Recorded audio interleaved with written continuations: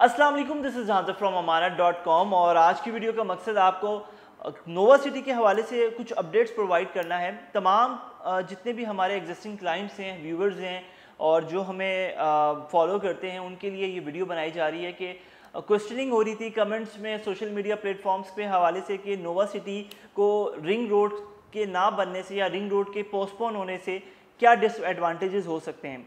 देखें सबसे पहले ये वीडियो आप लोगों के लिए हम इसलिए बना रहे हैं कि तमाम लोगों ने जो इन्वेस्टमेंट्स हमारे साथ किए, उन लोगों के लिए क्रिस्टल क्लियर माइंड हो कि रिंग रोड का इम्पैक्ट किसी प्रोजेक्ट पे क्या है, क्या उसको एडवांटेजेस होते हैं और क्या डिसएडवांटेजेस होते हैं। तो सबसे पहले मैं बात करूँगा कि रिंग रोड अगर नोवा सिटी के हवाले से जो कनेक्टिविटी की बात करें तो नोवा सिटी के पास ऑलरेडी लोकेशंस हैं ऑलरेडी तीन एक्सेसिबिलिटीज़ हैं, जिस पे वो ऑलरेडी काम कर रहे हैं और ऑलरेडी वहाँ पर गवर्नमेंट का काम चल रहा है।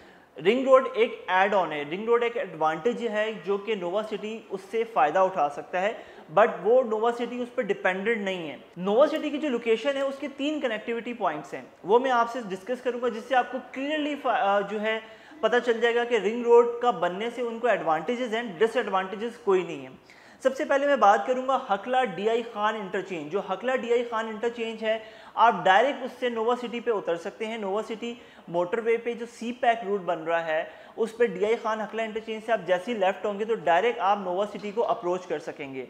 Number one number two Fateh Jang road से भी आप जो है, इसको एक्सेस कर सकते हैं। अगर एयरपोर्ट से अगर आप आ रहे हैं या मुमताज़ सिटी से आ रहे हैं तो आप फतेह जंग रोड को यूज़ करते हुए नोवा सिटी को अप्रोच कर सकते हैं और नोवा सिटी में दाखिल हो सकते हैं। नंबर थ्री जो अभी बनने जा रहा है एयरपोर्ट कार्गो रोड, जो एयरपोर्ट कार्गो रोड है, वो भी इसकी जो अप्रोच जो इसकी एक्सेस है, उसमें उसको फ़ायदा देगा, क्योंकि एयरपोर्ट, अगर आप नोवा सिटी पे खड़े हो तो आप एयरपोर्ट का रनवे देख सकते हैं, एयरपोर्ट को देख सकते हैं तो वहाँ से आप अगर उसकी कैलकुलेशन करें मिनट्स में माइल्स में तो आप जो एयरपोर्ट कार्गो रोड है, उससे तीन मिनट के अंदर नोवा सिटी के अंदर आ सकते हैं। ये तो बात रही कि जो अभी करंट तौर पे जो लोकेशंस हैं, जो अप्रोचेज़ हैं, जो एक्सेस है वो नोवा सिटी की ये है।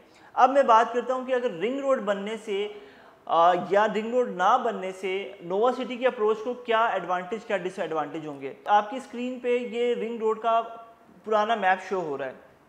अभी जो पुराना मैप है इसमें क्रिस्टल तौर पे आप अगर आप देखें तो हकला डीआई खान इंटरचेंज के सामने अगर टूल प्लाजा जहाँ लिखा हुआ है जहाँ पर 9.9 किलोमीटर पैकेज टू लिखा हुआ है ये बेसिकली सबसे करीबी लोकेशन बनती है नोवा सिटी की। इससे बनने से क्या होगा कि एयरपोर्ट को तो डेफिनेटली रिंग रोड के प्लानिंग में एयरपोर्ट को तो फैसिलेट करना है। जितना भी कार्गो है, क्योंकि जितनी भी आपके इंटरनेशनल कुरियर्स हैं या जो इंटरनेशनल ट्रेडिंग होगी, वो सीपैक रोड पे होगी।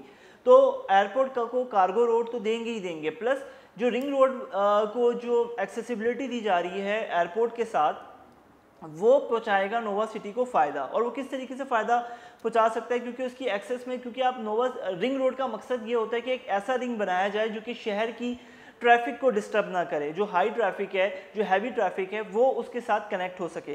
तो डेफिनेटली अगर एयरपोर्ट को ये एक इंटरचेंज देंगे या एयरपोर्ट को एक पॉइंट देंगे रिंग रोड के अंदर तो उससे डायरेक्टली फ़ायदा होगा नोवा सिटी को। सो नोवा सिटी की जो अप्रोचेज़ हैं, वो तो हैं। अगर वो बन जाता है तो उसको एडवांटेज होगा, उसको डिसएडवांटेज नहीं है।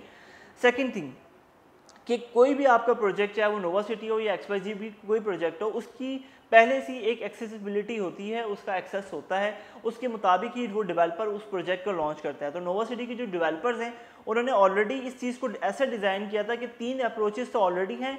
रिंग रोड बनने से अगर इन्हें इन्हें फ़ायदा हो जाता है तो डेफिनेटली हमारे तमाम इन्वेस्टर हमारे तमाम व्यूवर्स हमारे क्लाइंट्स को फ़ायदा होगा। और अगर रिंग रोड पोस्टपोन हो जाता है डिले हो जाता है तो उससे नोवा सिटी को कुछ खास फ़र्क नहीं पड़ता, क्योंकि ऑलरेडी इसके पास अप्रोचेज हैं ऑलरेडी एक्सेसिबिलिटी है, और ये सिर्फ़ नोवा सिटी के लिए डिले या पोस्टपोन नहीं होगा, तमाम जितने भी प्रोजेक्ट हैं, चाहे वो आपके सी पैक जो कि आपके रिंग रोड के मैप में आ रहे हैं, उन तमाम के तमाम को फ़र्क पड़ेगा।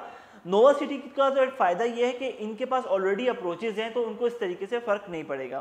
खैर इस वीडियो को बनाने का मकसद यही था कि आपको नोवा सिटी की जो लोकेशंस हैं उसकी अप्रोचेज़ उसकी एक्सेस के हवाले से पता चल जाए और रिंग रोड का डिफ्रेंशिएट कर सकें आपके रिंग रोड बनने या ना बनने से नोवा सिटी को, आ, को कोई नुकसान नहीं होगा।